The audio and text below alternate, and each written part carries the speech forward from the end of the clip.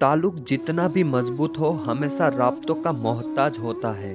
एक बात हमेशा याद रखना, आईना जब भी उठाया करो, पहले देखा करो, फिर दिखाया करो। इंसान अपनी औकात या तो हमारे बुरे वक्त में दिखाता है, या तो खुद के अच्छे वक्त में दिखाता है। सबसे ज़्यादा गुस्सा तब आता है जब कोई खुद गलत होकर भी हमें गलत साबित करने की कोशिश करता है। मैंने लोगों में बुराइयाँ ढूंढनी बंद कर दी है, जब से मैंने खुद में बुराइयाँ तलाश की। इंसान बुरा तब बनता है, जब उसकी अच्छाई का बहुत से लोग नाजायज फ़ायदा उठा चुके होते हैं। दूसरों के अल्फाज लहजे और रवैये का सिखवा तो हम सब करते हैं, लेकिन अपने अल्फाज लहजे और रवैये का हमें एहसास तक नहीं होता।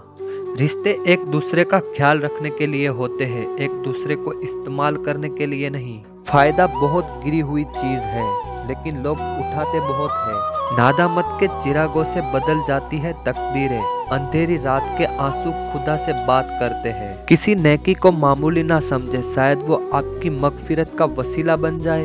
अपनी अच्छाई को साबित ना करो, वक्त एक दिन खुद ही साबित कर देगा। है अजीब चीज़ ये सराफत भी, इसमें सर भी है और आफत भी। उस मुस्तकबिल के लिए आप इतने परेशान होते हैं, हो सकता है आप उसमें हो ही नहीं। मेरे ऐबों का जो ज़िक्र करे, थोड़ी अपनी कबर की भी फ़िक्र करे। मेरी पीठ पीछे बातें करने वाले लोग अफसोस अभी तक मुझसे पीछे ही है। अक्ल छोटी हो जाए तो ज़ुबान लंबी हो जाती है। दुनिया की सबसे ज़्यादा दुख देने वाली चीज़ गुर्बत है। क्योंकि उसमें सब रिश्ते टूट जाते हैं। इतना खाया ना था नमक तेरा, जितना छटका है तूने जख्मों पे मेरे। मेरे किस्से सारे बाज़ार उछाले उसने, जिसका हर ऐब दुनिया से छुपाया मैंने। जो कभी जहन तक तस्लीम था, वो नज़रों तक से गिर गया है। वो बता रहा है, हद में रहो, जो खुद अपनी हद से गुजर गया है। ठोकर लगने का मतलब ये नहीं कि आप चलना छोड़ दे। इसका मतलब ये है कि आप संभल के चले। किसी की गलतियाँ ढूंढना बुरी बात नहीं, लेकिन शुरुआत खुद से होनी चाहिए। ज़िंदगी में इतने बुरे लोग मिले कि अब तो अच्छे भी बुरे लगने लगे हैं। जब वक्त बुरा हो तो अपने भी आजमाने लगते हैं, बच्चे बड़ों को समझाने लगते हैं।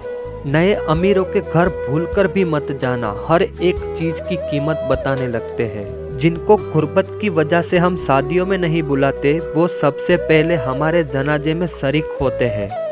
मैं कौन हूँ? ये जान करके मैं क्या हूँ? मैं रो पड़ा।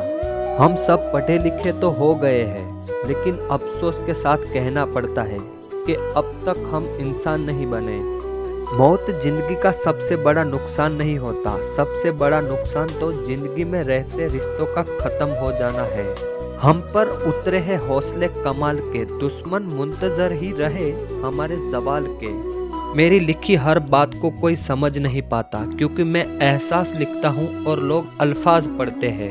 एक बात हमेशा याद रखना, चार दीवारी की सियासत करने वाले लोग रिश्तों के चार टुकड़े कर देते हैं। जिनकी नज़रों में किसी की कोई औकात नहीं होती, वही लोग अपनी असल औकात दिखाते हैं।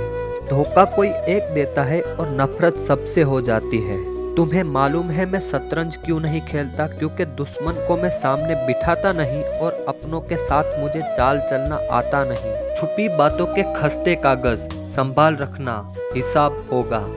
कभी कभी अपने खिलाफ बातें खामोशी से सुन लो और जवाब देने का हक वक्त को दे दो।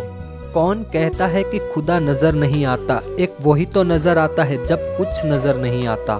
सही गलत का फैसला खुदा पर छोड़ दो। तुम इंसान हो। इंसानियत पे ज़ोर दो। बदला लेने वालों से मत डरो, बल्कि माफ़ करने वालों से डरो, क्योंकि उनका बदला खुदा खुद लेता है। गुनहगार तो शायद मांग ले माफ़ी, हिसाब पारसाओं का मुश्किल होगा। मुझे माफ़ करना खुदाया, कुछ लोग मुझसे माफ़ नहीं होंगे।